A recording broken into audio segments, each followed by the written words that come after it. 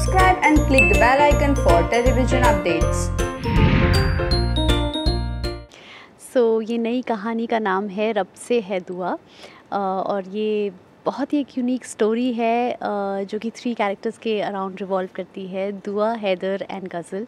तो दुआ और हैदर की बहुत ही प्यारी सी फैमिली होती है एक आइडल फैमिली और उसके बाद कैसे हैदर और गज़ल को प्यार हो जाता है और हैदर फिर सेकंड मैरिज के लिए अपनी वाइफ से पूछता है। सो so, वहाँ से you know there is a turn in the story and वहाँ से हमारी स्टोरी स्टार्ट होती है।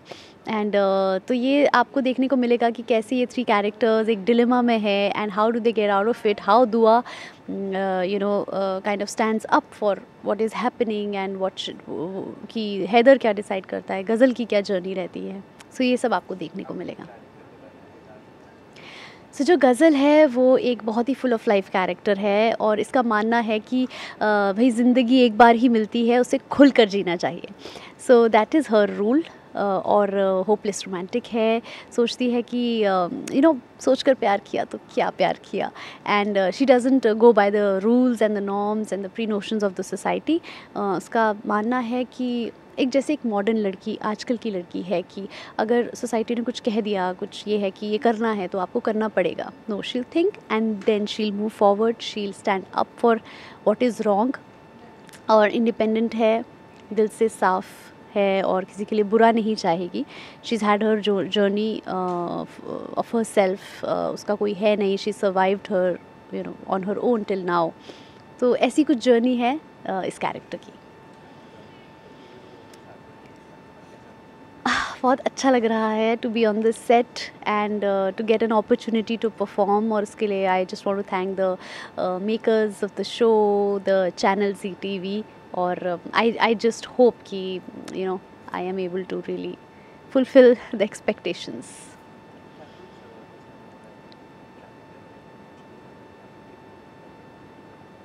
So basically I was in Shimla मेरे होम टाउन में uh, जब मुझे इस कैरेक्टर uh, के लिए नरेट किया गया और नरेटिव दिया गया and I give the audition I was called to Bombay और uh, जब मैं यहाँ आई तो मुझे पता चला that you know shoot start हो चुका था and they had been auditioning for a long time one thirty girls को उन्होंने ऑडिशन किया था and after that I got selected and I am very grateful overwhelmed and I just hope that I can really live up to that and yes तो ये रहा अभी तक का सफ़र और आगे आने वाला सफ़र तो आप देखेंगे।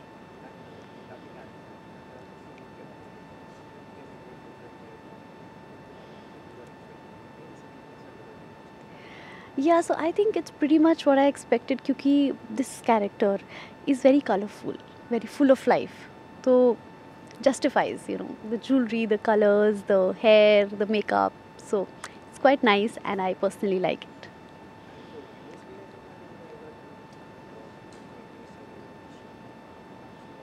Uh, the show ka uh, unique storyline, the uh, the concept of the show and the characters. You know, every character has a spark, and uh, so I think that is what you should watch out for.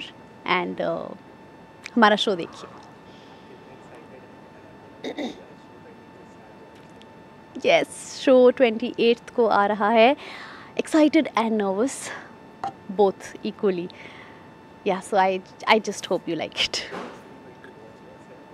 of course of course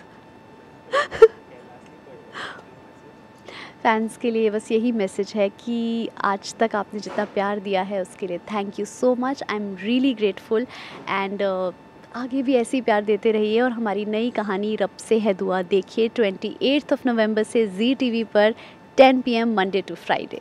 Thank you so much.